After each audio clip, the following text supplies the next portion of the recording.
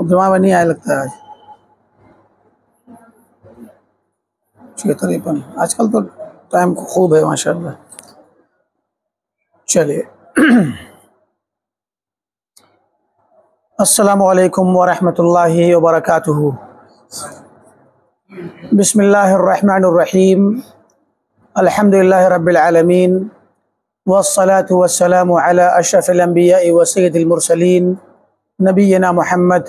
وعلى آله وأصحابه أجمعين. أما بعد. یہ کوئی چیز کسی طرح پہنچوا دیجئے ادھر. بیٹھے ادھر آؤ استعمال وال ہو تھوڑا سا. اندر دے دو خواتین میں. کوئی سوال وغیرہ ہو تو لکھ کے بھیج دیں گے.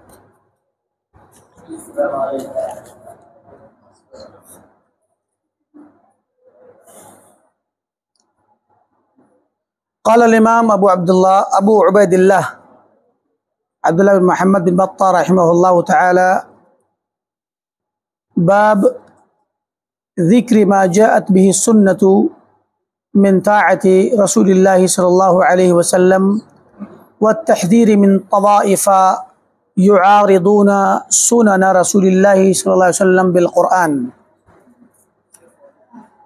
جیسا کہ آپ تمام حضرات کو بخوبی معلوم ہے کہ ہم جس کتاب کو اپنے اس ہفتہ واری درس میں پڑھ رہے ہیں، وہ امام ابن بطہ العقبری رحمۃ اللہ علیہ کی کتاب ہے۔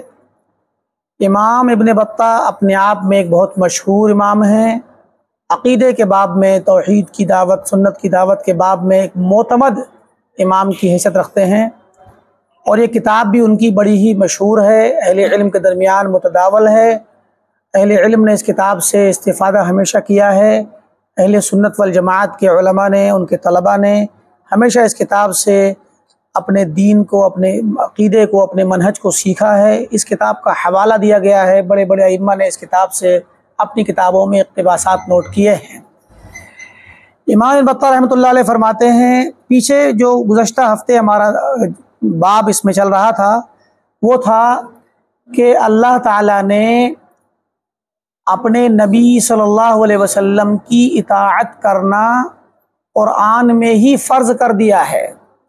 یعنی قرآن کی بہت سی آیات ایسی ہیں جو ہمیں اللہ کے نبی صلی اللہ علیہ وسلم کی اطاعت کرنا فرض کے طور پر ابھارتی ہیں اور فرض قرار دیتی ہیں۔ عطیعو کا سیغہ بہت سی آیتوں میں آیا ہوا ہے۔ اس کی وضاحت پچھلے درس میں پورا درس، پورا چیپٹر ہی اطاعت رسول صلی اللہ علیہ وسلم کے متعلق آیات کے باب کے ذکر میں تھا۔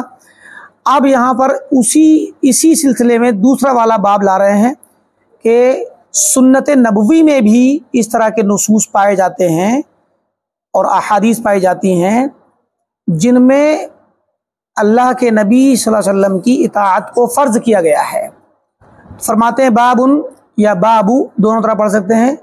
ذکر ما جاءت بھی سننا سنت میں جو چیزیں آئی ہیں، ان کا ذکر۔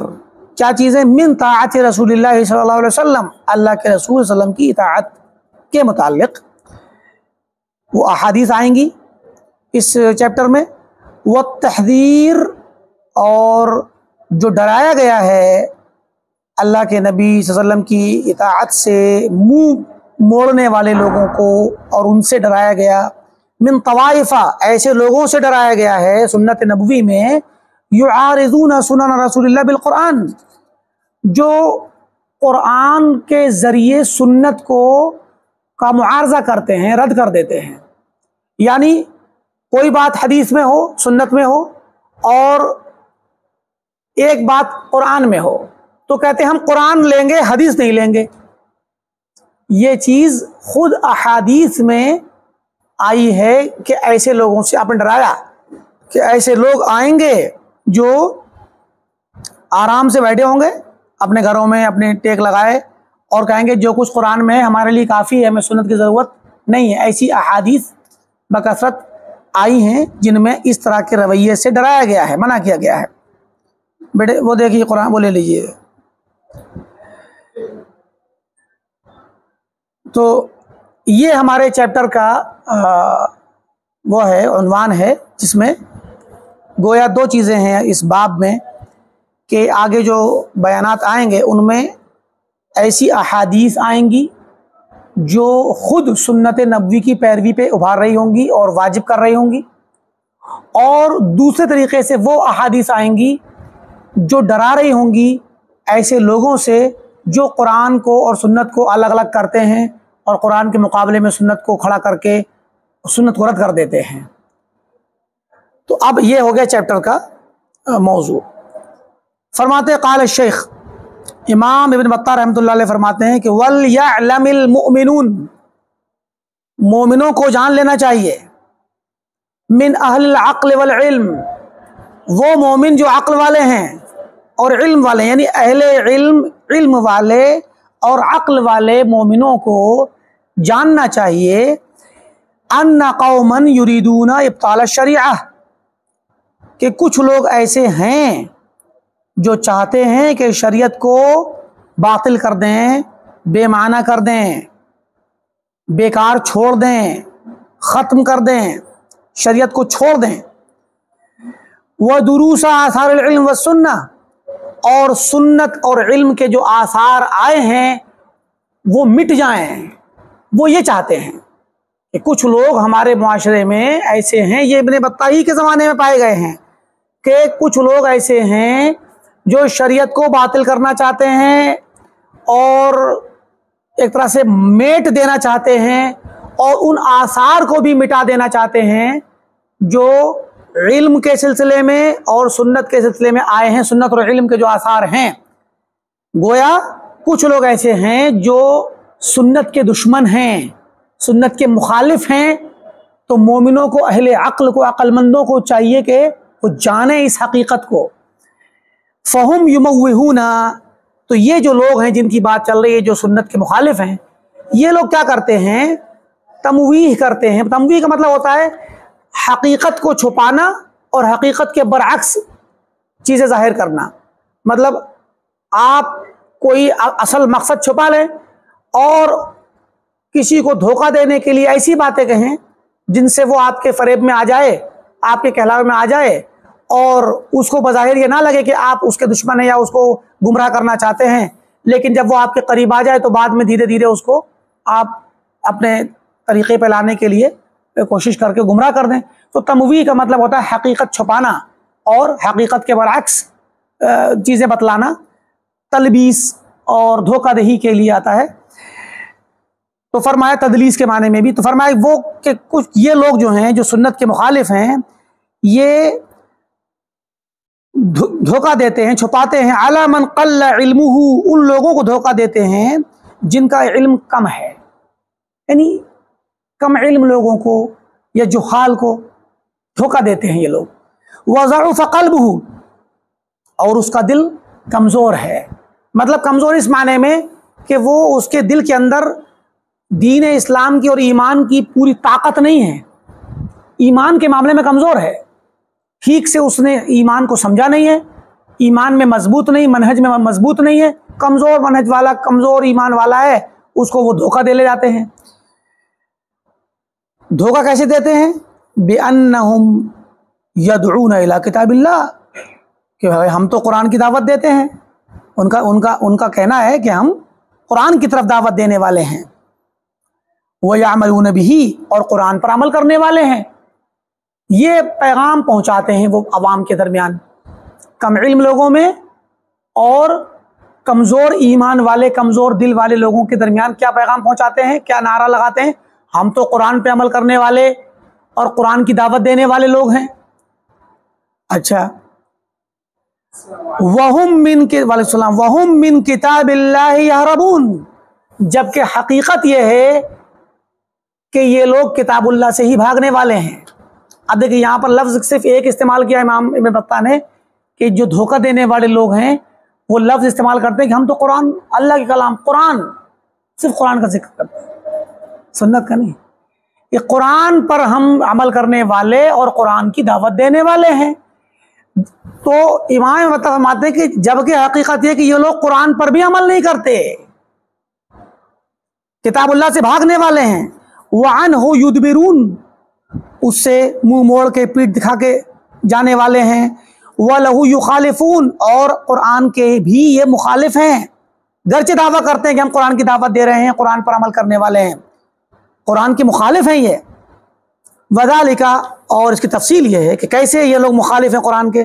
گرچہ دعوت دعویٰ کرتے ہیں کہ ہم قرآن پر عمل کرنے والے ہیں۔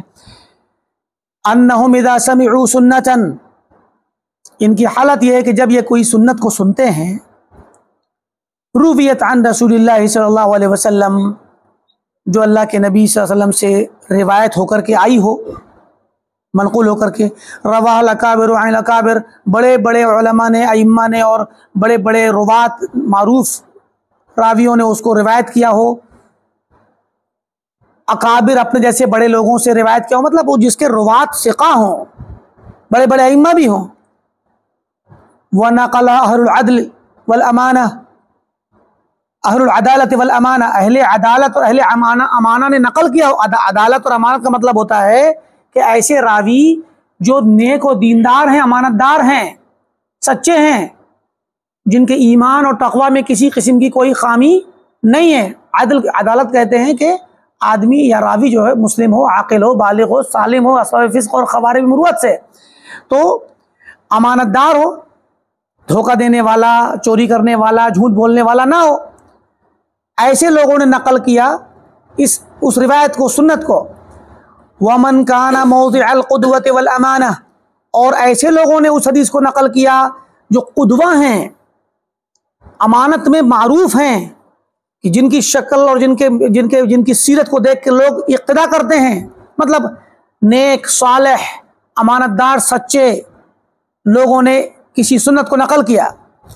وَأَجْمَعَ أَئِمَّةُ الْمُسْلِمِينَ عَلَى صِحَّتِهَا اور مسلمانوں کے ائمہ نے، اماموں نے اس اس سنت جو آ رہی ہے، حدیث جو آ رہی ہے، اس کے صحیح ہونے پر اجماع کیا ہے۔ اس کو صحیح مانا بھی ہے اس حدیث کو سنت کو۔ او حکم فقہاؤہم بہا۔ یا اجماع نہیں کیا تو کم از کم اس کے مسلمانوں کے فقہا نے، بڑے علماء نے اس کے متعلق، اس کے ذریعے فیصلہ کیا ہے۔ یعنی بہت سارے مسائل میں دلیل لی ہے اس سے۔ اب گویا یہ جو حدیث آ رہی ہے بہت ہی قیمتی ہے، بہت ہی معتمد ہے کہ علماء نے اس پر، اس کی صحت پر اجماع بھی کیا فقہ نے اس کے مطابق فیصلے کیے اور احکام نکالے اور اس کو بڑے بڑے ائمہ نے، بڑے بڑے روات نے جو اہل عدالت اور اہل امانت تھے، انہوں نے نقل کیا۔ مطلب بظاہر اس حدیث کے صحت میں کوئی شک نہیں ہے۔ ایسی سنت آتی ہے تو کیا ہوتا ہے؟ آرزو تلک سنہ بالخلاف علیہ تو یہ لوگ جو قرآن پہ عمل کرنے کا دعویٰ کرتے ہیں، یہ اس سنت کی مخالفت کرتے ہیں۔ آرزو معارضہ کرتے ہیں بالخلاف علیہ اس اس کی مخالفت کر کے۔ سنت کی مخالفت میں کھڑے ہو جائیں گے، قبول نہیں کریں گے۔ وہ تلقہ برد اور اس سنت کو کیسے کر کے لیتے ہیں؟ رد کر کے یعنی مطلب سنیں گے اور رد کر دیں گے۔ وقال لمن رواہا اور جو لوگ ان کے پاس آ کے روایت کرتے ہیں عندہم ان سے آ کر کے جو حدیث نقل کرتے ہیں، ان سے کیا کہتے ہیں؟ تجدو هذا فی کتاب اللہ۔ کیا تم اس بات کو قرآن سے ثابت کر سکتے ہو؟ قرآن میں پاتے ہو؟ یعنی سنت سے جو بات آ رہی ہے، اس کو چاہتے ہیں کہ قرآن سے دلیل لا کر کے سریح وہی بات قرآن سے ثابت ہو۔ جب قرآن میں نہیں ہے تو رد کر دیں گے۔ وَهَلْ نَزَلَ هَذَا فِي الْقُرْآنِ؟ کیا یہ بات قرآن میں نازل ہوئی ہے جو تم سنت اور حدیث کے طور پر لا رہے ہو؟ وہ اتونی بھی آیا میں کتاب اللہ کوئی قرآن کی آیت لے کر کے آؤ حتیٰ صدق بہذا تاکہ میں تصدیق کر سکوں۔ آپ دیکھیں، جو لوگ حدیث کے منکر ہیں، منکرین حدیث ہیں، وہ بھی یہی کہتے ہیں۔ اور اس سے آپ کو پتہ چل رہا ہے کہ منکرین حدیث بیسویں صدی کی پیداوار نہیں ہے، انیسویں صدی کی پیداوار نہیں ہے۔ بلکہ یہ تو اسی زمانے میں چوتھی صدی میں امام ابن بطہ نے کہہ دیا تھا اس زمانے میں یہ لوگ آ چکے تھے جو معتزلہ اور جامعہ کے شکل میں اور اور دہریہ اور اور اور اور اسی طریقے سے زنادقہ کی شکل میں آئے تھے۔ تو انہوں نے یہ نعرہ لگانا شروع کر دیا تھا کہ سنت یا حدیث جو ہے، جب تک قرآن میں نہ ہو تب تک نہیں قبول کی جائے گی۔ بات تو یہ اس طریقے سے جو ہے وہ قرآن کے ذریعے حدیث کو معارضہ کر کے رد کرتے تھے۔ تو اب کہنا چاہتے ہیں کہ فَعْلَمُوا رحمكم اللہ اے مسلمانوں، جان لو، اللہ تم پہ رحم کرے۔ ان قائل هذه المقالہ جو آدمی یہ کہتا ہے، جو پیچھے بات گزری کہ سنت کو قبول کرنے کے لیے قرآن کی آیت مانگتا ہے کہ جو حدیث آ رہی ہے، میں تب تک نہیں مانگوں جب تک قرآن ثابت نہ ہو۔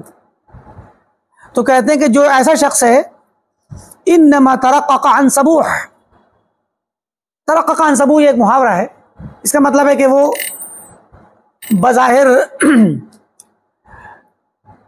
کہنا چاہتا کچھ ہے مقصد اس کا کچھ ہے، کہتا کچھ ہے۔ سمجھے گا نہیں؟ بظاہر بڑی پیاری بات ترقہ کا نرم بات کہہ رہا ہے، خوبصورت بات کہہ رہا ہے، تزینہ مطلب اچھی بات کہہ رہا ہے۔ قرآن مانگ رہا ہے بھائی۔ قرآن کی آیت مانگ رہا ہے۔ تو ایک اچھی بات تو ہے۔ تو اچھی بات کر رہا ہے، لیکن مقصد اس کا خراب ہے۔ ترقہ خان سبو یہ ایک عربی زبان کا محاورہ ہے۔ اس کی تاریخ جاہلیت کے زمانے میں کہ جاہلیت زمانے میں ایک آدمی کسی کے یہاں کسی قبیلے میں مہمان بنا تو لوگوں نے اس کو باہر سے کوئی آیا تھا، اس کو مہمانی میں کھلایا۔ تو اب کھلانے کے بعد سبوح کہتے ہیں، صبح میں پلائی جانے والی شراب کو، اور غبوق کہتے ہیں، شام کو پلائی جانے والی تو انہوں نے شام والی شراب پلا دی، اس کو وہی کھانا وانا کھلا کر شراب بھی پلائی۔ عربوں کا طریقہ تھا۔ تو اس کے بعد کیا ہوا کہ چونکہ سفر عام طور پہ رات میں ہوتا تھا تو ان لوگوں کو توقع تھی کہ اب یہ مسافر سفر میں نکل جائے گا، یہ باہر سے آیا ہے تو چلا جائے گا۔ اور اس کا مقصد تھا کہ میں صبح تک رکوں یہاں۔ تو اس نے بھائی اپنا ارادہ ظاہر کرنے کے لیے کہا کہ بھائی آپ لوگ شراب، رات والی پلا دی مجھے اتنی شراب، تو میں اتنی شراب رات میں پیوں گا، پھر صبح والی شراب پیوں گا، تو کیسے جا پاؤں گا میں؟ مطلب شراب پینے کے لیے غبوق کے ساتھ سبوخ کا بھی ذکر کر دیا، جبکہ انہوں نے تو نہیں کہا تھا ہم تمہیں صبح کی شراب پلائیں گے یا صبح تک ٹھہرو، ان کو توقع تھی کہ چلا جائے گا۔ تو لوگوں نے کہا کہ ترقا قان سبوح یعنی سب، صبح والی شراب کا جو نام لیا ہے اس نے وہ تھوڑا سا اس کا مقصد ہے کہ ٹھہرنا چاہتا ہے وہ۔ تو مطلب کہنے کا یہ کہ گویا وہ ان کی طرف سے تو یہ ایک محاورہ چل پڑا اس انسان کے لیے جو اچھی بات کہہ رہا ہو، بھی لوگوں کے کھلانے پلانے کی تعریف کر رہا تھا آپ لوگ، ان لوگوں کی کہ آپ لوگ مجھے اتنا کھلا رہے ہیں، پلا رہے ہیں۔ جبکہ اس کا مقصد خود تھا کہ میں رکنا چاہتا ہوں، سمجھے کہ؟ تو یہی ہے کہ جو انسان اچھی بات کہے بظاہر اور پیچھے اس کا مقصد، اس کا کچھ ذاتی مقصد ہو یا خراب مقصد ہو، تو اسی کو یہ محاورہ استعمال کرتے تھے کہ اس آدمی نے جو ایسا شخص ہے جو قرآن مانگ رہا ہے حدیث کو قبول کرنے کے لیے تو بظاہر تو وہ اچھی بات کہہ رہا ہے، لیکن حقیقت میں اس کا مقصد کچھ اور ہے۔ وہ یوسر رخبی انفی اربغا یہ بھی ایک محاورہ ہے۔ اس کا مطلب ہے کہ وہ بظاہر تو یعنی ایک طرح سے آپ کے سامنے اچھی چیز پیش کر رہا ہے۔ اربغا یہ ربق سے ہے مطلب ایک طرح گھونسلہ جو ہوتا ہے، تو ایک اچھی چیز، لیکن اس کے اندر وہ گھونسلے میں بظاہر چڑیا کو کے پرندے، کہ اس کے بچے ہونا چاہیے، لیکن وہ اس کے اندر کوئی خراب چیز رکھی ہو، رکھ دے، کوئی تو جو ہے کیا نام دھوکہ دے، تو مطلب وہی ہے کہ وہ ایک طرح سے فساد، خراب چیز خراب چیز پہ چاہت مقصد اس کا خراب ہے، افساد ہے، لیکن بظاہر اچھی چیز پیش کر رہا ہے۔ یہ مطلب ایک انہوں نے تھوڑا سا محاورے زبان پیش کی ہے۔ یہ تحلہ بحلیت المسلمین، وہ بظاہر مسلمانوں کا لباس پہنے ہوئے ہے یہ شخص وہ یوز میرو اعلیٰ طویت الملحدین اور اس کے دل میں جو نیت ہے وہ ملحدین کی ہے۔ طویہ مانے نیت جو چھپائے ہوئے اندر جس دل میں جو لپیٹے ہوئے تو یظہر الاسلام بدعوا ہو۔ وہ اپنے دعوے کے ذریعے ظاہری طور پہ اسلام کا مظاہرہ کر رہا ہے۔ اسلام کو ظاہر کر رہا ہے قرآن مانگ رہا ہے، قرآن کا مطالبہ وَيَجْحَدُهُ بِسِرِّهِ وَهَوَاهُ۔ اور اسلام کو وہ حقیقت میں نکار رہا ہے اس کو اس کو رد کر رہا ہے۔ اپنے اندرونی جو اس کا راز ہے، اس کی جو دل کی نیت ہے، اس کی خواہشات جو ہے، اس سے وہ کیا کر رہا ہے؟ اسلام کا انکار کر رہا ہے۔ کیونکہ وہ قرآن کا تو مطالبہ کر رہا ہے، لیکن حدیث کا انکار کر رہا ہے۔ تو کہتے ہیں کہ فصبیل العاقل العالم، تو جو عقل مند شخص ہے اور علم والا ہے، اس کا راستہ کیا ہے؟ اسے کیا راستہ اختیار کرنا چاہیے؟ اذا سمع قائل هذه المقالہ جب وہ اس طرح کے کسی آدمی کو ایسی بات کہتے ہوئے سنیں ان یقول لہو تو وہ عقل مند انسان کہے اس سے یا جاہلا فی الحق اے حق کے متعلق جاہل شخص یعنی حق کو نہ جاننے والے خبیثن فی الباطن، اندرون کے میں خباست پالنے والے شخص، یا من خط ابھی طریق الرشاد، اے وہ شخص جس کو ہدایت کے راستے سے ہٹا دیا گیا ہے خطا مطلب کسی نے غلط راہ دکھا دی ہے، سبیل رشاد اور ہدایت کے راستے سے ہٹا دیا ہے، اور سبیل اہل صداد جو سچائی پہ اور صحیح راستے پہ چلنے والے لوگ ہیں، ان کے راستے سے جس کو بھٹکا دیا گیا ہے، اے، اس کو خطاب کرے اور اس سے کہے، ان کن تؤمن بکتاب اللہ، اگر تم کتاب اللہ پر ایمان رکھتے ہو یعنی اہل قرآن سے کہے، اگر تم کتاب اللہ پر ایمان رکھتے ہو، وَأَنَّهُ مُنَزَّلٌ مِّنْ عِنْدِ اللَّهِ اور اس بات پر ایمان رکھتے ہو کہ وہ اللہ کی طرف سے نازل کی ہوئی ہے۔ وَإِنَّمَا أَمَرَكَ اللَّهُ بِهِ وَمَا نَهَاكَ عَنْهُ فَرْضٌ عَلَيْكَ۔ اور اس بات پر ایمان رکھتے ہو کہ جو چیز جس چیز کا حکم تمہیں اللہ نے دیا ہے قرآن میں، اور جس چیز سے منع کیا ہے تمہیں، وہ تم پر فرض ہے کہ تم اس کو اس کو مانو ویسے ہی۔ فرض علیہ قبول اسے قبول کرنا تم پر فرض ہے۔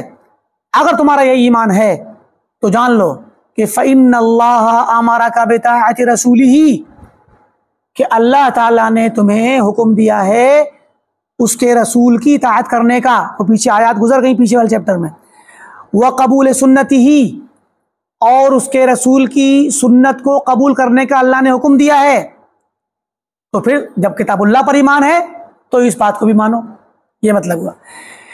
لأن اللہ عز و جل کیونکہ اللہ تعالیٰ نے انما ذکر فرائضہ اللہ نے اپنے فرض کی ہوئی چیزیں جو فرائض ہیں وہ قرآن میں ذکر کیے ہیں، وہ عوامرہ اپنے حکموں کو ذکر کیا ہے بے خطاب اجملہ ایسے لفظوں میں اور ایسے خطاب میں ذکر کیا ہے، اپنے فرائض کو اور احکامات کو اجمل جسے اللہ نے مجمل اور مختصر کیا ہے۔ یعنی قرآن کا خطاب مختصر ہے۔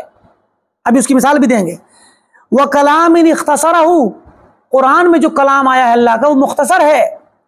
وہ ادرج اور اس کے اندر اللہ نے بہت سے معانی درج کر دیے ہیں، داخل کر دیے ہیں۔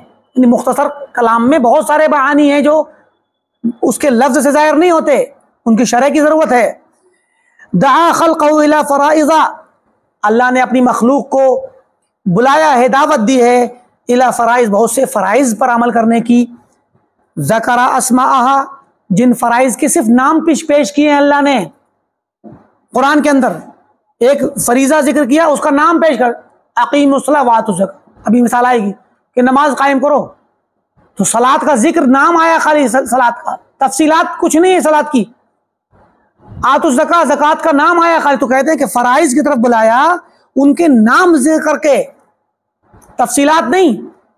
وہ امرا نبی یہو اور اپنے نبی صلی اللہ علیہ وسلم کو حکم دیا بے سے معانی کہ ان کے معانی کو لوگوں کو بیان کریں۔ حکم دیا نبی کو کہ وہ بیان کریں لوگوں کے سامنے ان آیات اور ان ان, ان عوامر کے معانی کو۔ کہ جو نام آئے ہیں خالی سلاد کا نام آیا اس کی تفصیلات اور معانی پیش کریں۔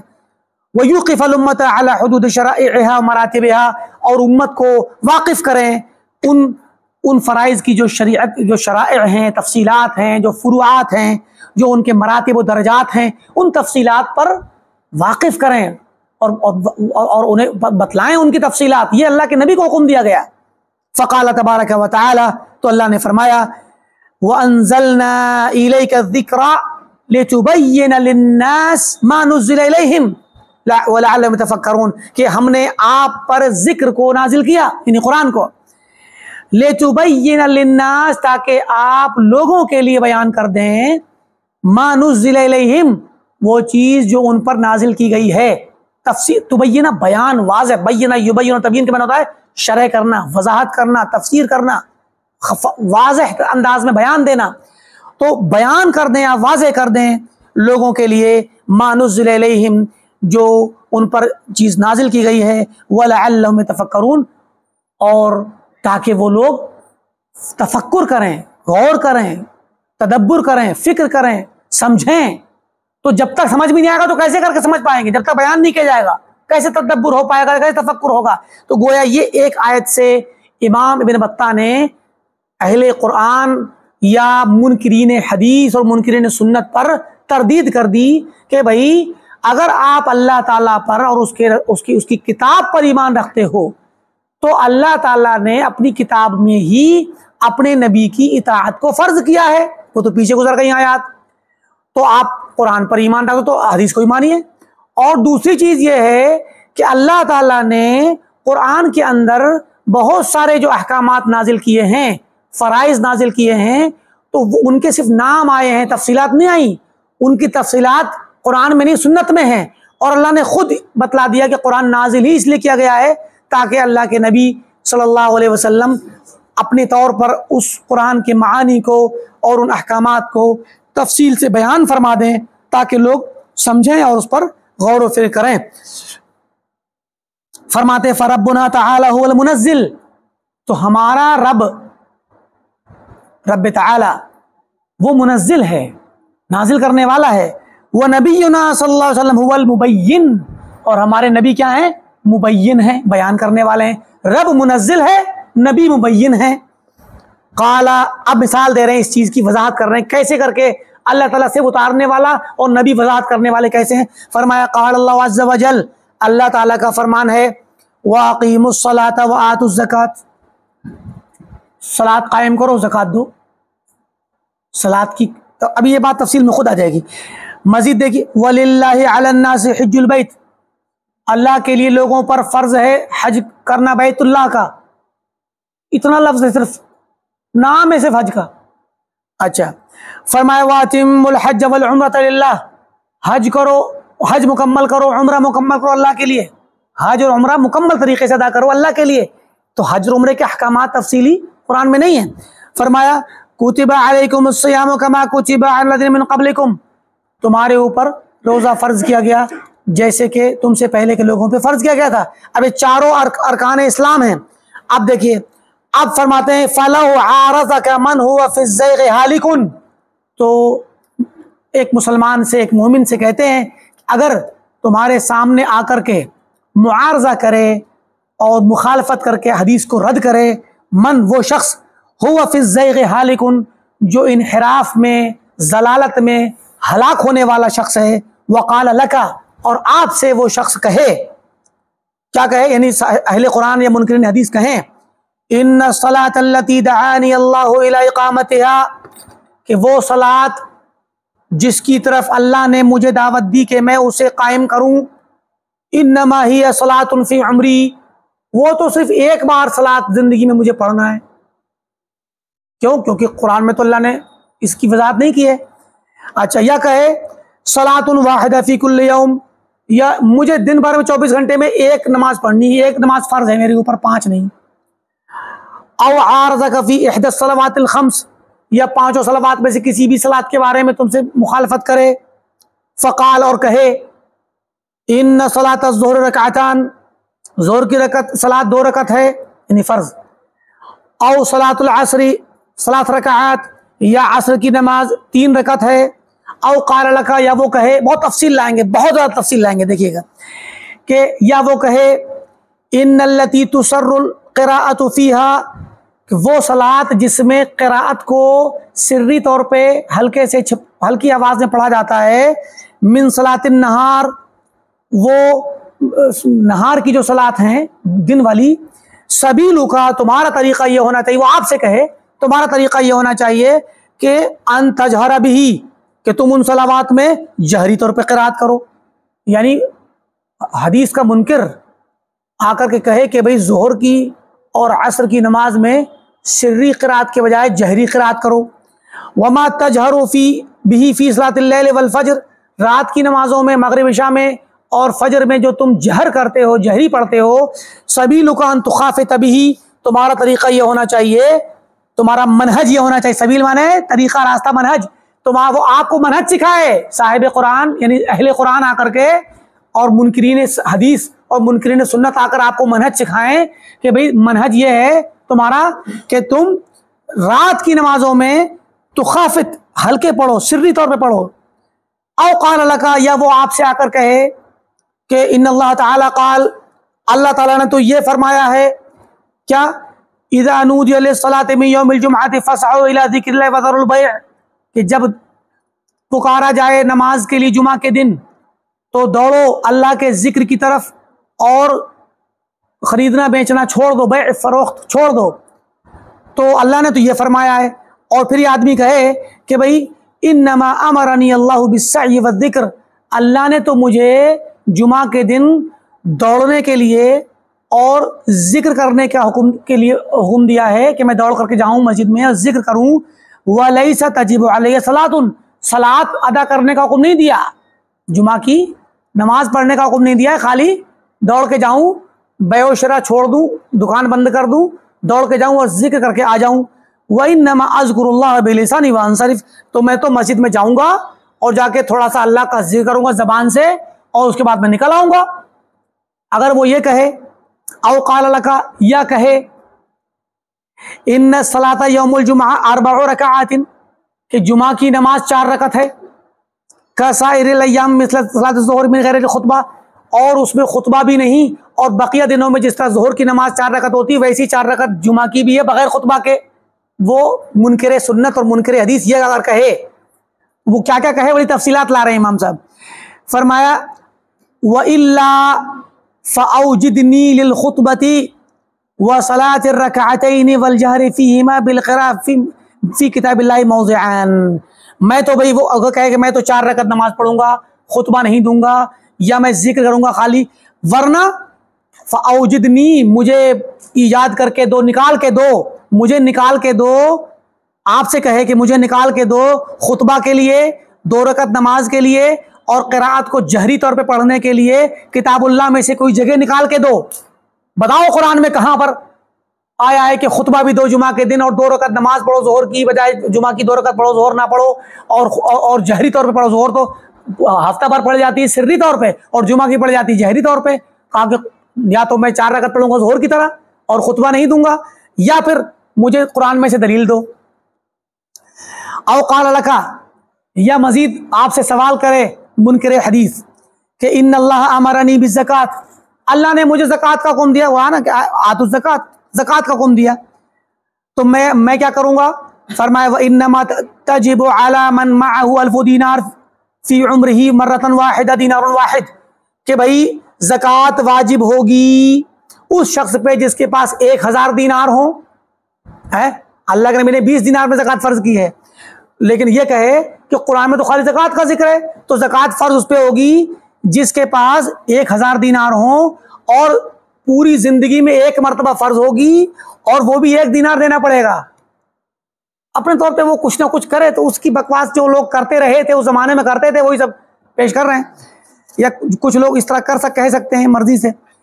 فرمایا، او قال اللہ کا قائل یا کہنے والا منکر حدیث آپ سے کہے ان نمز زکات و فضاب والورق زکوٰۃ تو صرف سونے اور چاندی میں دی جائے گی والا زکوٰۃ فی الحبوب والبہائم غلے میں یا جانوروں میں زکوٰۃ نہیں دوں گا، نہیں ہے۔ ٹھیک وہ قرآن میں چونکہ اس کا ذکر نہیں۔ او کیفت زکوٰۃ من البہائم والانعام یا بہائم اور انعام میں زکوٰۃ کیسے دی جائے گی؟ ہے او قال یا کہے، آخر کوئی دوسرا شخص کہے، ان الخیل والبغال والحمیر والاماء والعبید والعقارات والسفن والفاخر والجواہر والواقی بہت سی چیزیں ہیں کہ مثلا گھوڑے، خچر، گدھے اما مطلب لونڈیاں، عبید، غلام، مرد، غلام عورتیں، اور والعقارات یعنی زمینیں، جائیدادیں، والسفن، کشتیاں وغیرہ، سیاب فاخرہ، اعلیٰ کوالٹی کے کپڑے، والجواہر والیواقیت مطلب مجوہرات اور اور یہ جو مطلب وہ ہوتی ہیں کیا نام ہے، زیب و زینت کی چیزیں جو عورتیں پہنتی ہیں، سونے چاندی کی چیزیں، اور مزید جو جواہر اور یواقیت ہوتے ہیں، یاقوت، مرجان وغیرہ قیمتی پتھر اور جواہر وغیرہ، جویلری جسے کہتے ہیں تو یہ سب چیزیں اللہ تزین الناس جن کو لوگ بطور زینت استعمال کرتے ہیں۔ بات ہو رہی ہے، جن کو لوگ استعمال کرتے ہیں۔ وہ تجملون بہا اور جن سے خوبصورتی حاصل کرتے ہیں۔ بھائی گھوڑے کو انسان پالتا ہے سوار ہونے کے لیے ایسے ہی بغال ہے، حمیر ہے، گدھے اور خچر بھی اس زمانے میں سواری کے لیے استعمال ہوتے تھے۔ ایسے ہی جو ہے لوگوں کے پاس غلام ہوتے تھے، لونڈے، لونڈیاں ہوتی تھیں، مرد غلام ہوتے تھے، زمینیں ہوتی ہیں لوگوں کے پاس آج بھی اور کشتیاں یا گاڑیاں بھی ہوتی ہیں۔ ایسے ہی بہت اچھے اچھے کپڑے انسان رکھتا ہے اور بہت سارے یواقیت اور جواہر اور اور جویلری گھر میں خواتین پہنتی ہیں۔ تو یہ جو استعمال کی چیزیں ان میں زکوٰۃ نہیں ہوتی، استعمال کی چیزوں میں زکوٰۃ نہیں ہوتی، تو کہا کہ جن چیزوں کو لوگ بطور استعمال، بطور زیب و زینت استعمال کرتے ہیں، من نفیس الاموال، بڑھیا والے کوالٹی کے جو اموال چیزیں ہیں، اور وہ خطیر العقد والاملاک، اچھے اچھے ہار عورتیں پہنتی ہیں، اچھی املاک ہوتی ہیں لوگوں میں، جائیدادیں ہوتی ہیں، ملکیت ہوتی ہیں، بہت ساری اموال ہوتے ہیں۔ فلم فلی مالا تو آدھا زکات ہوا بھائی ان کی زکات کیوں نہیں دی جاتی؟ یہ سوال کرے منکر حدیث اس یہ سوال اٹھائے کہ بھائی ان چیزوں میں زکات کیوں نہیں دیتے آپ؟ او قال لگا قائل یا کوئی اور آئے، کوئی کہنے والا کہے، انی احج بلا احرام. میں حج کروں گا بغیر بغیر احرام کے، حج تو کروں گا بغیر احرام نہیں پہنوں گا۔ اچھا۔ ولا اخلع ثيابي نہ میں اپنے کپڑے سلے ہوئے کپڑے اتاروں گا۔ اب احرام کا مطلب تو ہوتا ہے نیت کرنا احرام کی۔ پھر کپڑے اتار کر کے جو سلے ہوئے کپڑے ہوتے ہیں، ان کو مرد جو ہیں، ایک اظہار اور ایک چادر میں آ جاتے ہیں۔ تو کوئی کہے کہ میں بغیر نیت کے اور بغیر اپنے احرام کے کپڑے پہنے اور اپنے کپڑے اتارے بغیر ہی میں حج کروں گا۔ ولا تجنب ولا اجتنب شيئا مما يجتنبه المحرمون اور میں کسی ہر کسی بھی اس چیز سے نہیں بچوں گا، دور نہیں رہوں گا، جس سے محرم حالت احرام میں دور رہتا ہے۔ ولا امتنع من جماع النساء واستعمل الطيب اور کہے کہ میں اپنی مطلب اب بیوی کے ساتھ جاؤں گا تو بیوی سے دور بھی نہیں رہوں گا اور میں خوشبو بھی استعمال کروں گا۔ جو چیزیں حرام ہیں، حالت احرام میں یہ چیزیں حرام ہیں۔ ولا آتی المیقات میں میقات پر بھی نہیں گزروں گا۔ گھر سے نکلا، جہاں سے گزر جاؤں گا ایسے ہی۔ وہی جزینی طواف واحد و واحد۔ ایک ہی چکر، ایک ہی طواف لگا لوں گا، ایک ہی بار صحیح کر لوں گا، کافی ہے میرے لیے۔ مطلب بالکل برخلاف کہے جو حدیث میں آیا ہے، ان کے برخلاف۔ والعمرۃ التي ذکرها اللہ عز وجل، اور جو عمرہ ہے، جس کا ذکر قرآن میں آیا ہے، وہ اتنا میہ صلاۃ رسلی ہے، وہ عمرہ نہیں ہے، وہ ایک سلاد ہے، میں نماز پڑھ لوں گا، عمرہ کیا ہے؟ اچھا یا ہدیت الدیہ اب ہدیہ پڑھیں گے تو ہدیہ، کوئی ہدیہ دے دوں گا ایسے ہی دینے کے لیے، یا ہدیت الحدیون کی مونس کہ کوئی حد یا کوئی قربانی کر دوں گا، اور عمرہ ہو گیا، عمرے کی لیے ضروری کہ میں طواف کروں صحیح کروں، وغیرہ۔ اوقار لگا یا وہ کہے۔ مطلب بہت زیادہ تفصیل لا رہے ہیں۔ اور ابھی اس تفصیل کے بعد بھی کچھ چیزیں کہیں گے۔ وہ کہتے ہیں کہ اگر کوئی کہے ان الجمارا لا ارمیہ شیطان کو ہم جیسے کہ شیطان کہتے رمی جمرات جو کرتے ہیں، تینوں شیطان کو جو کنکری ماری جاتی کہ میں کنکری نہیں ماروں گا جمرات کو۔ اچھا۔ تو اب ایسے کر کے میں حج کروں گا اپنی مرضی سے۔ یا کہے، او عارض کا فی شور رمضان رمضان کے مہینوں کے سلسلے میں آ کر کے تم سے معارضہ کرے اور کہے کہ انما فرض فرض علی النبی صلی اللہ علیہ وسلم واصحابی پھر رمضان کا مہینہ تو اللہ کے نبی پہ فرض تھا اور صحابہ پہ فرض تھا، ہم پہ نہیں فرض ہے، وہ یہ کہے۔ اچھا۔ فقال اور کہے کہ ان نشر الذی فرض صيامه۔ یا وہ یہ بھی کہے کہ وہ مہینہ جس کے رمز جس کے روزے رکھنا فرض کیا گیا تھا، انما ہوا رمضان الذي انزل فی القرآن۔ یہ وہ رمضان ہے جس میں قرآن نازل ہوا تھا۔ قرآن کا شاہ رمضان الذي فی القرآن، رمضان کا مہینہ وہ ہے جس میں قرآن نازل ہوا۔ تو کہے کہ اسی رمضان کے مہینے میں روزے فرض تھے جس رمضان کے مہینے میں قرآن نازل ہوا تھا یعنی اللہ کے نبی کے زمانے میں پہلا روزہ، پہلا رمضان۔ اچھا۔ اوقال لکا، یا وہ کہے، مزید کچھ اور اپنی عقل کے گھوڑے دوڑا کر کے مرضی سے اپنی خواہشات سے کہے کہ ان سوما ان الطعام والشراب۔ بھئی روزہ تو صرف کھانے پینے سے بچنے کا نام ہے کہ کھانا پینا چھوڑ دو۔ رہی بات فین استعت الرجل، اگر کوئی آدمی اپنی ناک کے ذریعے کھانا کچھ لے لے سونگ کر کے یا پائپ کے ذریعے آج کے زمانے میں، اور احتقنا، یا وہ جو ہے، مان لیجیے وہی، انجیکشن کے ذریعے لے لے او اس دردا یا کھائے نہ بلکہ نگل لے۔ ایسی چیز جو کھائی نہیں جاتی، مالا یوکل والا یوسف عام طور پہ کھانے پینے کی چیز نہیں ہے، لیکن وہ نگل کے اپنے پیٹ میں کر لے کوئی چیز۔ جیسے مثل حسا ونوا والحجارہ، کنکری نگل لے جائے، یا کھجور کی گٹھلی نگل لے، چبائے بغیر۔ والحجارہ یا پتھر کو، کوئی بھی پتھر کی شکل ہو۔ وما اشبہہا، اور جو بھی اس چیز کے مشابہ چیزیں ہیں۔ ناک سے لے، منہ سے لے، بغیر چبائے۔ لم یفسد ڈالے کا سو مہو تو یہ چیزیں اس کے سوم کو نہیں بگاڑیں گی، نہیں خراب کریں گی، مرضی سے کہے۔ او عارضہ کا آخر، یا کوئی اور شخص آ کر کے آپ سے معارضہ کرے اور حدیث کے خلاف بات کرے اور کہے، ان اللہ عز و جل جعل میراث الاباء للابناء والازواج والزوجات والاخوہ والاخوات بھی اللہ تعالیٰ نے قرآن کے اندر یوسیکم اللہ فی اولادکم کہا۔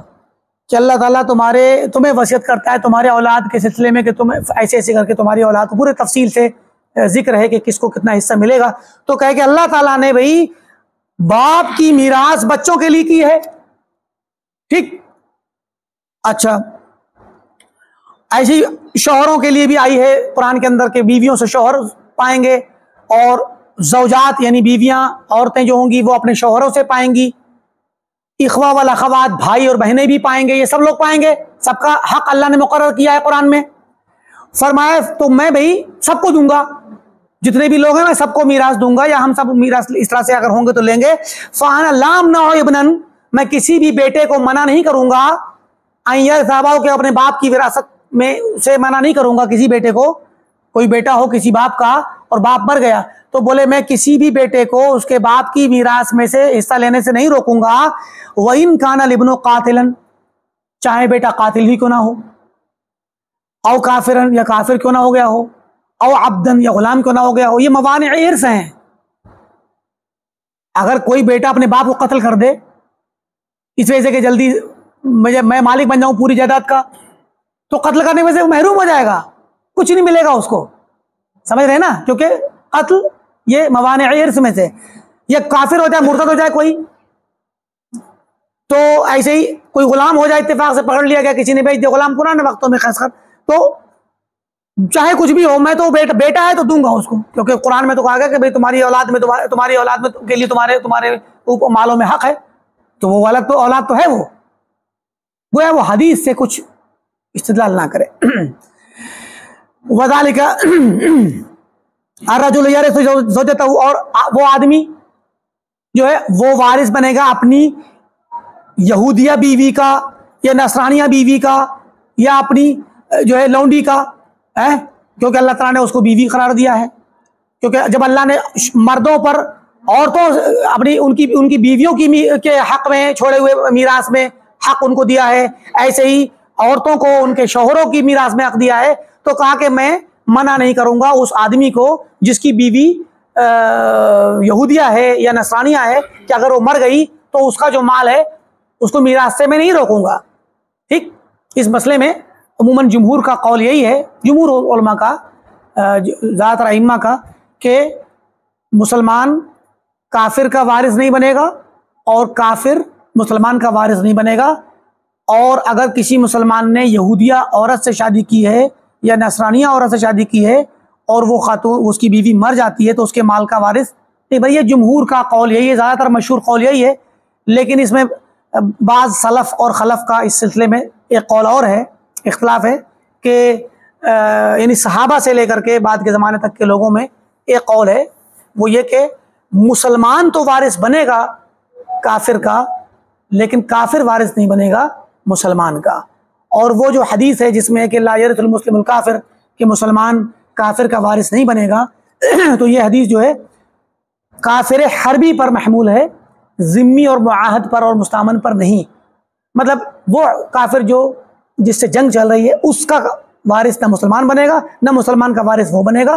تو لیکن آدمی اگر یہودی عورت سے شادی کیے ہوئے ہو یا نسرانی سے اور وہ انتقال کر جائے، تو کیا نام ہے، آدمی اپنی بیوی کا وارث بنے گا۔ بلکہ اور بھی مسائل آتے ہیں۔ کبھی کوئی کوئی بیٹا مسلمان ہو گیا، اس کی ماں جو ہے کافر ہے، یا اس کا باپ کافر ہے، اور وہ انتقال کرتا ہے، وہ تنہا بیٹا یا دو دو بھائی ہیں، تین بھائی ہیں، تو وہ کیا وہاں سے وہ حق لے گا کہ نہیں؟ حضرت معاذ بن جبل رضی اللہ تعالیٰ عنہ کے پاس ایک واقعہ آیا تھا کہ ایک ایک ایک ایک ایک یہودی کے دو بیٹے تھے، تو ان میں سے ایک ایک بیٹا مسلمان ہو گیا تھا۔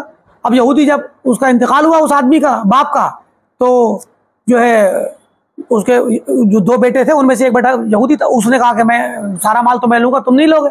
تو اس نے کہا، نہیں، میں تو میں، میرا باپ تھا، میں لوں گا۔ تو فیصلہ آیا حضرت معاذ بن جبل رضی اللہ عنہ کے پاس۔ تو انہوں نے ان کو، مسلمان کو برابر کا شریک اور اور اس میں حصہ دار بنایا اور کہا کہ الاسلام و یزید ولا ینقص۔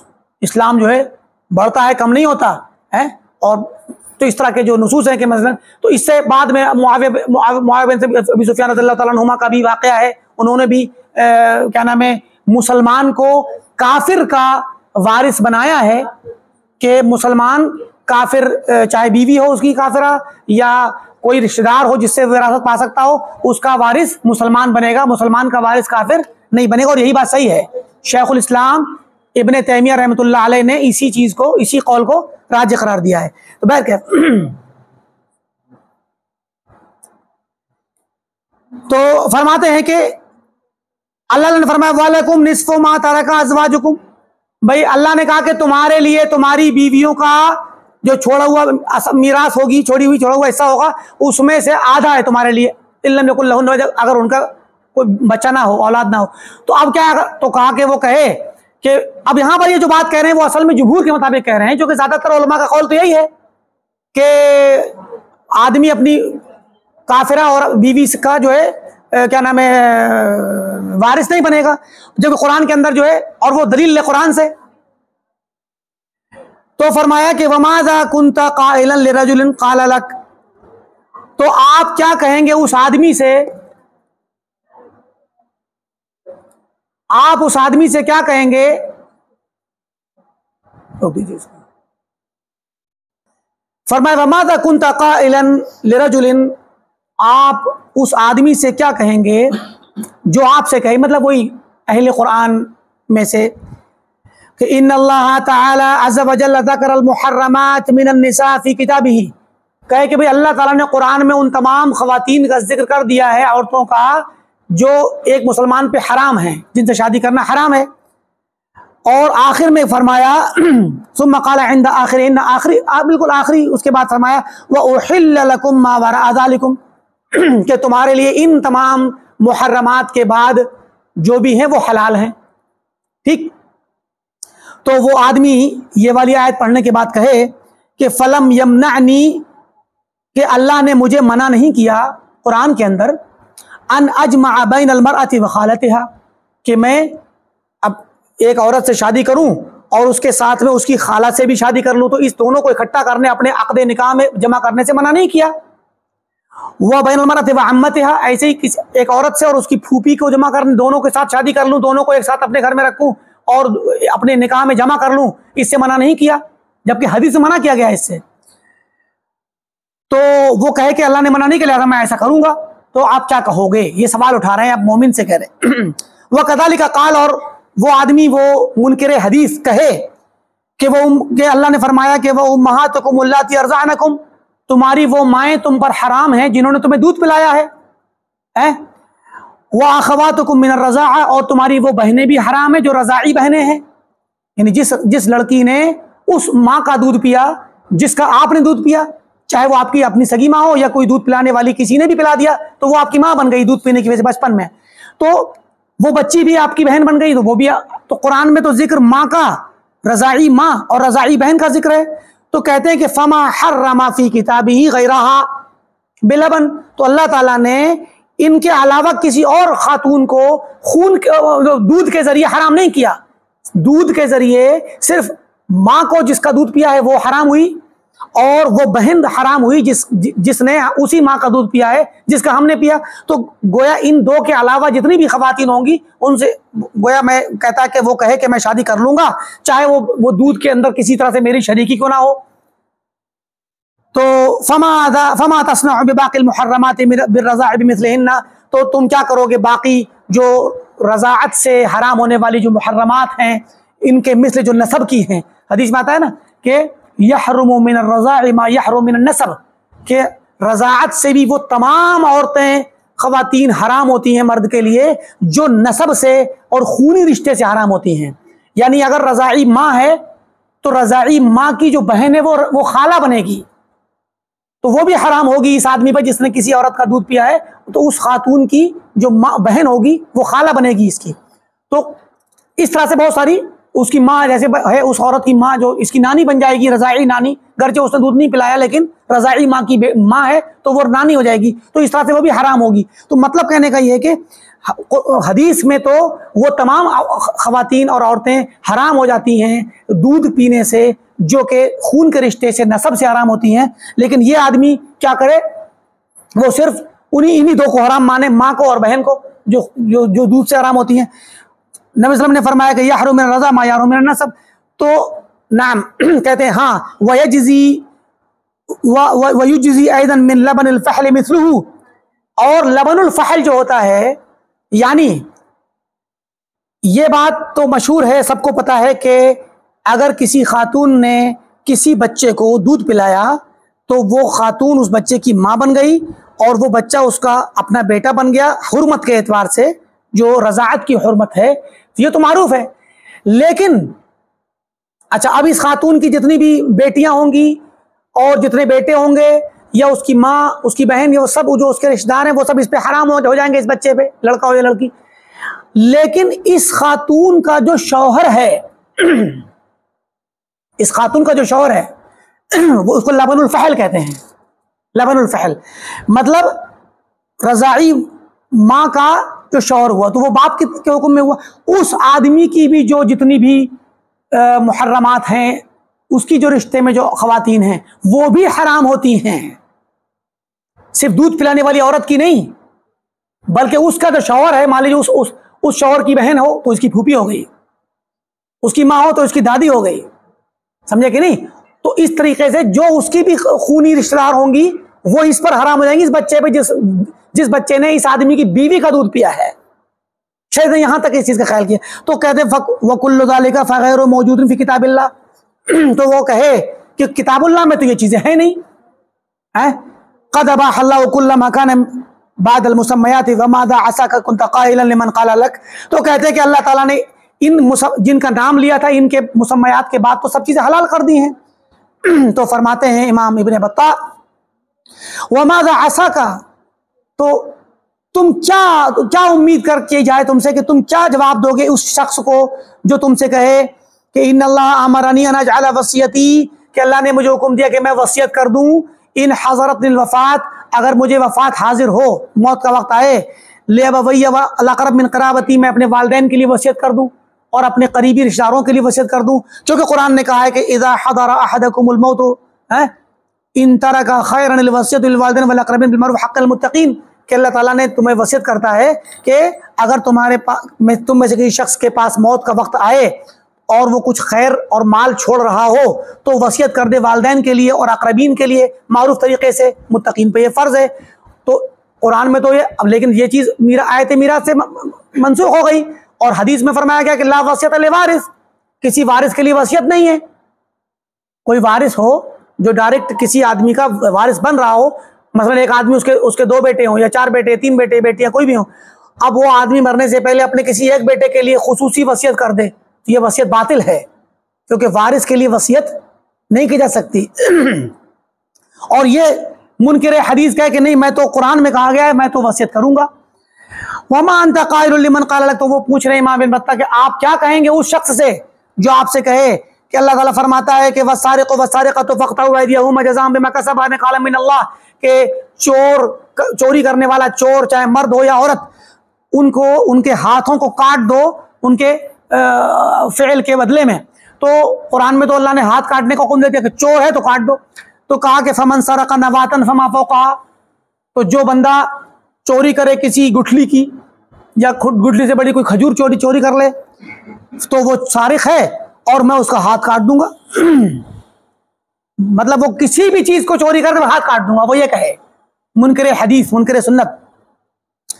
من حرز نوغیری فو سارے کسی بھی چیز کو چاہے وہ حرز میں سے ہو، چھپائی جانے والی چیز ہو، یا کھلی ہوئی چیز ہو، حفاظت سے رکھنے والی چیز ہو، یا عام چیز ہو، اس میں سے کھیت میں سے مان لیجیے کوئی دانہ اٹھا کھا لے، کوئی پھل اٹھا کھا لے، کھجور یا وغیرہ وغیرہ، کوئی بھی پھل یا کوئی دانہ نکال لے تو کچھ بھی کھا لے، چھوٹا موٹا اٹھا لے تو میں چور مانا جائے گا، چور چور تو کہا جائے گا اس کو۔ لیکن بغیر کسی نصاب کے، بغیر کسی تعین کے، بغیر کسی مقدار کے جانے، محض چھوٹی بڑی کسی بھی چیز کو چوری کرے، ہاتھ کاٹ دوں گا اگر کوئی یہ کہے۔ وقار کا آخر، اور کوئی اور شخص آ کر آپ سے کہے کہ الید من الانامل الل من کب یا من کی ہاتھ تو انگلی سے لے کے کندھے تک ہوتا ہے، پورا، ہر جگہ پوری ہاتھ ہی شمار ہوتا ہے۔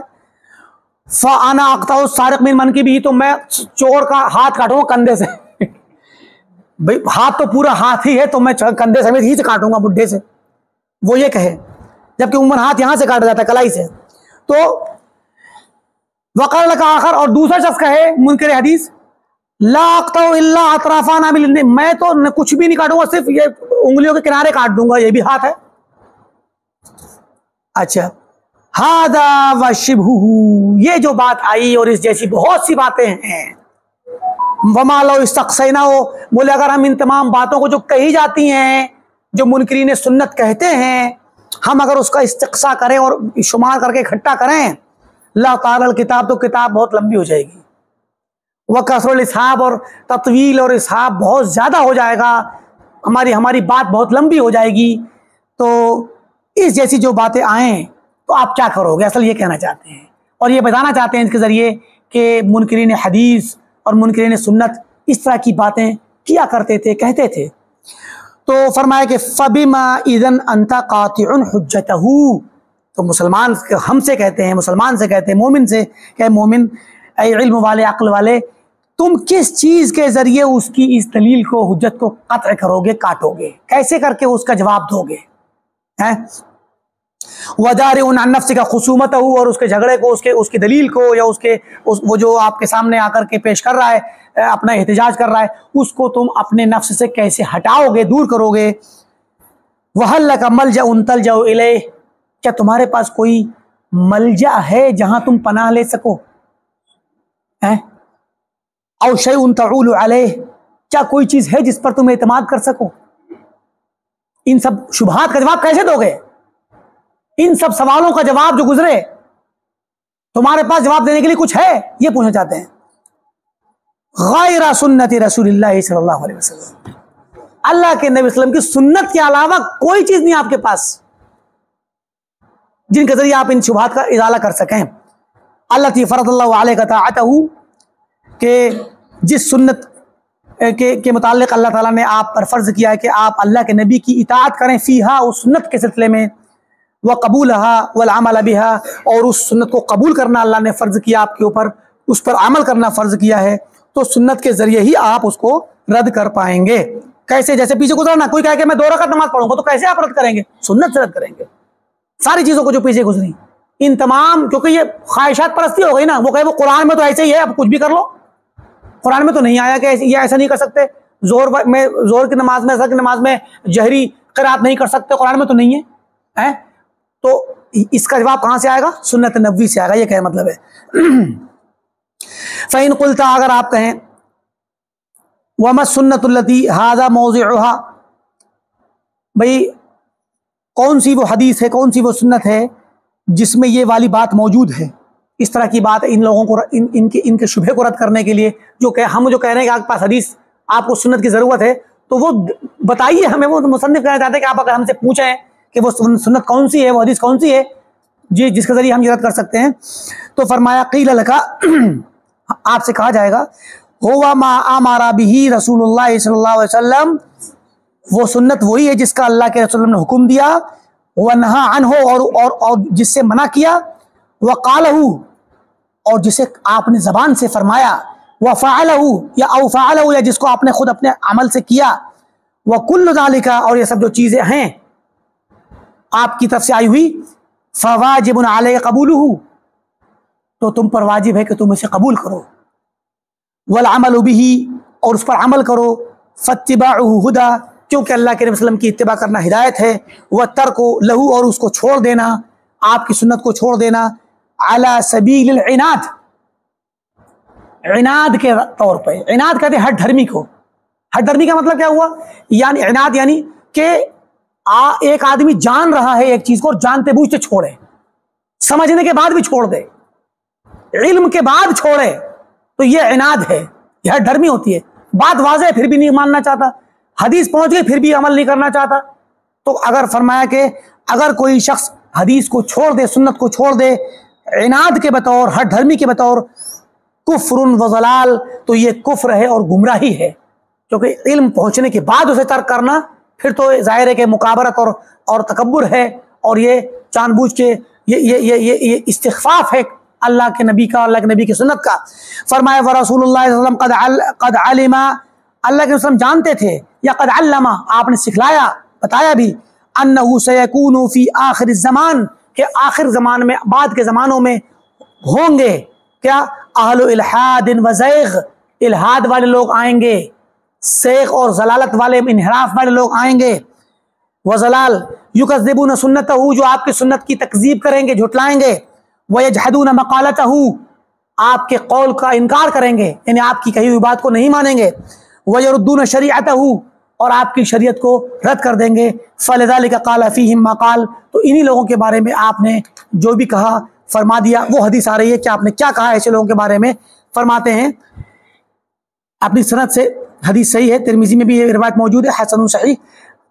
قال حدثنا أبو بكر محمد بن أحمد بن صالح بن سيار الأزدي قال حدثنا بشر بن مطر قال حدثنا سفيان بن عيينة عن ابن المنكدر وصان بن أبي النضر عن عبيد الله بن أبي رافع عن أبيه أو غيره يبلغ به النبي صلى الله عليه وسلم کہ ان کے ذریعے اللہ کے تک پہنچتے ہیں فرمایا قال لا ألفين أحدكم متكئا على أريكته۔ آپ صلی اللہ علیہ وسلم نے فرمایا تھا کہ لوگوں ایسا نہ ہو کہ میں تمہیں پاؤں۔ تم میں سے کسی شخص کو متقین علی عریکتی ہی وہ اپنی مسند پہ ٹیک لگائے بیٹھا ہو یا لیٹا ہو یا الامر من امری۔ اس کے پاس کوئی حکم آئے میرے حکموں میں سے۔ کوئی معاملہ میرے معاملات، میری کہی ہوئی باتوں میں سے کوئی معاملہ آئے۔ یا میں نے جو حکم دیا ہے، مما امر تو بھی۔ ہی جن چیزوں سے میں نے، جن کا میں نے حکم دیا ہے اور نہ تو عن ہو یا جن سے میں نے منع کیا ہے ان میں سے کوئی بھی امر، معاملہ یا حکم آئے اس کے پاس، فیقول، اور وہ کہے، لا ادری، میں نہیں جانتا یہ کیا چیز ہے۔ مجھے نہیں پتا۔ جو حدیث آ رہی ہے، اس کو انکار کر دے۔ یعنی نہ مانے اس کو۔ ما وجدنا فی کتاب اللہ اتباع نہ ہو جو چیز ہم کتاب اللہ میں پائیں گے، اس کی اتباع کریں گے۔ تو فرمایا، میں ایسا تم میں سے کسی کو نہ پاؤں۔ یعنی ایسا کرنے والا کوئی نہ ہو، ایسا مت کرنا۔ منع کیا آپ نے اس چیز سے۔ تو یہ روایت دیکھیے تو بتانا چاہتے ہیں کہ اس طرح کی سنت میں اللہ کے نبی نے انہی لوگوں سے ڈرایا ہے جو لوگ سنت کو رد کرتے ہیں۔ اور انہوں نے اپنی سنت سے پیش کیا، یہ روایت بھی صحیح ہے، حدیث صحیح ہے۔ حدثنا القاضی المحاملی قال حدثنا یوسف بن موسیٰ قال حدثنا سفیان بن عیان عن ابن منقدر، عن عبید بن برافع عن نبیہ وعن غیر فذکر النبی صلی اللہ علیہ وسلم قال سفیان انہو قال سفیان کہتے ہیں کہ آپ نے انہوں نے کہا تھا کہ لا الفین احدکم متقن علی عریکتہی یأتیہی لعمر من امری۔ تھوڑا سا لفظ کا فرق ہے، باقی حدیث وہی ہے کہ میں نہ پاؤں تم میں سے کسی شخص کو کہ وہ اپنے عریقہ کہتے ہیں، ٹیک لگانے کی چیز، چاہے وہ صوفے کی طرح سے ہو، کرسی ہو، چاہے وہ تخت ہو یا چارپائی ہو یا زمین میں بھی وہ کسی تکیے پہ ٹیک لگا کر کے لیٹا ہو، بیٹھا ہو، تو وہ عریقہ ٹیک لگانے کی چیز کو کہتے ہیں۔ کل ما یتقع علیہ، ہر وہ چیز جس پہ ٹیک لگائی جائے، چاہے وہ شریر ہو یا منصہ ہو، فراش ہو، کوئی بھی چیز ہو۔ تو نہ پاؤں ایسے شخص، کسی شخص کو وہ ٹیک لگائے بیٹھا ہو مطلب آرام سے بیٹھا ہو، حدیث سنائی جا رہی ہے، اس کو احترام بھی نہ کرے حدیث کا ہے حدیث کے لیے بیٹھے بھی تھوڑا سا متوجہ نہ ہو۔ اور پھر اس کے بعد کیا کرے؟ کوئی بات آئے میرے امر و نہیں میری منع کی ہوئی یا حکم دی ہوئی چیزوں میں سے اور کہ اللہ ندری، ہم نہیں جانتے یہ سب کیا ہے، اس کو ہٹاؤ۔ ماں وجد نفی کتاب اللہ اتباع نہ ہو، جو چیز ہم کتاب اللہ ہم پائیں گے اس کی اتباع کریں گے۔ تو ان چیزوں سے آپ نے منع کیا تھا۔ ایک اور روایت آ رہی ہے انہی کی صنعت سے، فرماتے ہیں مقدام بن مادی قریب ایک صحابی ہیں، ان سے روایت آ رہی ہے۔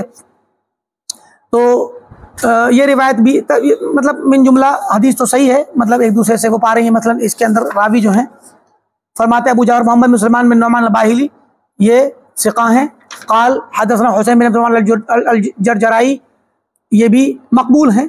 قال، حدثنا ولید بن مسلم عن حریز بن عثمان عن عبد الرحمن بن ابی عوف الجرشی عن مقدام بن مادی قریب تقریباً تمام راوی سقہ ہیں، سوائے کسی ایک کے رومیہ بن نصب وغیرہ، بعض لوگوں میں تھوڑا سا بدت تھی، لیکن حدیث حدیث صحیح ہے، کیونکہ حدیث اس کے معنی کی طرح وہ ہو جاتی ہے تاکید ہو جاتی ہے کہ فرمایا کہ لا، الا انی اوتیت الکتاب ومثلہ معه کہ لوگوں آپ نے فرمایا کہ لوگوں سن لو، مجھے کتاب دی گئی ہے، اللہ نے مجھے کتاب یعنی قرآن دیا ہے۔ وہ مثلہ معه اور اسی کے مثل ایک چیز اور دی ہے اس کے ساتھ ساتھ یعنی سنت۔ پھر فرمایا اعلیٰ ایوش کا شبعانو کوئی پیٹ بھرا ہوا شخص یعنی مالدار، پیٹ بھرا ہوا اور اور اور اور ایک طریقے سے بے نیاز، مستغنی شخص۔ قریب ہے کہ ایسا وقت آئے کہ وہ اپنے عریقہ پہ ٹیک لگائے بیٹھا ہو۔ یقول علیکم بالقرآن اور کہے کہ لوگوں قرآن کو لازم پکڑو۔ قرآن پڑھو، فما وجد تم فی من حلال تو قرآن میں جو حلال چیز پاؤ فلو ہو تو اسی کو حلال جانو۔ وما وجد تم فی من حرام۔ اور جس چیز کو تم حرام قرآن کے اندر پاؤ فہر ہو تو اسے حرام سمجھو۔ لہٰذا جو چیز قرآن میں حرام نہ ہو، تو اسے جو ہے کیا نام ہے، حرام نہ جانو۔ تو ایسے کہنے والے آئیں گے لا يحل الحمار الاہلی آپ نے یہاں پر کہا، فرمایا کہ ایک بات جان لو، خبردار، جو گھریلو گدھا ہوتا ہے حمار اہلی یہ حرام ہے قرآن میں گرچہ اچھا ذکر نہیں ہے، تو اس کا مطلب کیا ہوا؟ کوئی یہ نہ کہے کہ قرآن میں نہیں ہے تو حلال ہو گیا۔ تو بس ایک اور لمبی حدیث ہے۔ تو میں کہ اسی طرح کی اور روایتیں بھی آ رہی ہیں۔ میرا خیال ہے، ایک گھنٹہ ہمارا ہو گیا ہے۔ تو اسی پہ اکتفا کرتے ہیں۔ اللہ رب العالمین سے دعا ہے کہ اللہ تعالیٰ ہمیں کتاب و سنت پر عمل کرنے کی توفیق دے۔ اللہ تعالیٰ ہمیں سنت نبوی پر مضبوطی سے قائم رہنے کی توفیق دے۔ اس کو سیکھنے کی، اس پر عمل کرنے کی توفیق بخشے، اس کو پھیلانے کی دعوت دینے کی توفیق دے اور باطل کو سمجھنے اور اس کو، اس سے بچنے کی توفیق دے۔ جب تک اس دنیا میں رہیں، کتاب و سنت پر قائم رہیں، جب ہمارا خاتمہ ہو، تو توحید و سنت پر ہو۔ وآخر دعوانا الحمد للہ رب العالمین۔ السلام علیکم ورحمۃ اللہ وبرکاتہ۔ یہ چیپٹر بڑا ہے، اس چیپٹر میں اور بھی اس طرح کی حدیثیں آئیں گی۔